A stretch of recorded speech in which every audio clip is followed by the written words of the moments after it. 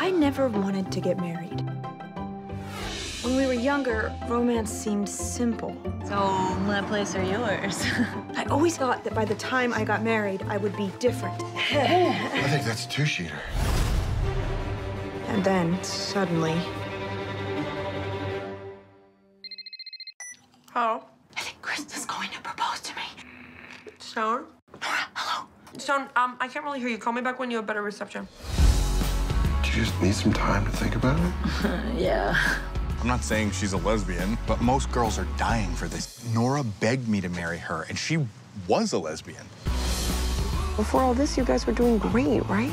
Women give men ultimatums all the time. Maybe he's right. You're not gonna let him extort a yes out of you, are you? It's not extortion. An ultimatum is an acceptable form of negotiation. Extortion is illegal. What?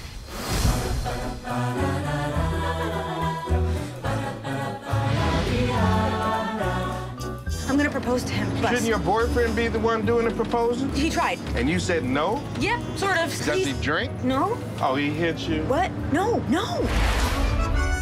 What if I don't know how long I'm gonna need? It's okay. Probably just gonna die a few years younger now.